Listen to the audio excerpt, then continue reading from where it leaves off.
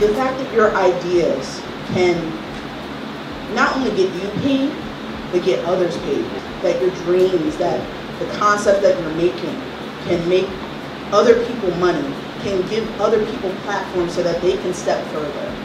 That's, it's groundbreaking. I always kind of think of success as preparation meeting opportunity because as long as you're always prepared, there's always going to be an opportunity. And that's why whenever people say like, you know, just keep going, just keep trying, just keep trying, is because you, you can prepare yourself so much, but if you give up, you don't know if the next day is when your opportunity is going to come out. Utilizing something that might be small to you as leverage to leverage your next thing.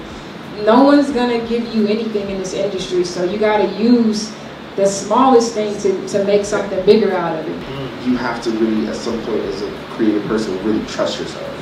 And just be like, yo, I can do anything, I can make anything, I can, Yes. I can do anything in the world. Yes. So I think when you reach that point, and that's kind of where I am now, it's like, I don't really care, you know?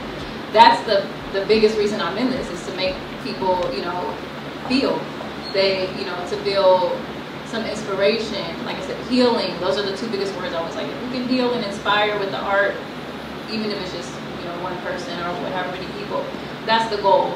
I would always think back to picking up the camera with my friends and that feeling that it would give me, you know. And so I just started running with that, you know, like any opportunity I had, I would shoot friends around the school's music videos, shoot DJ commercials for my friends who would DJ little parties and stuff like that.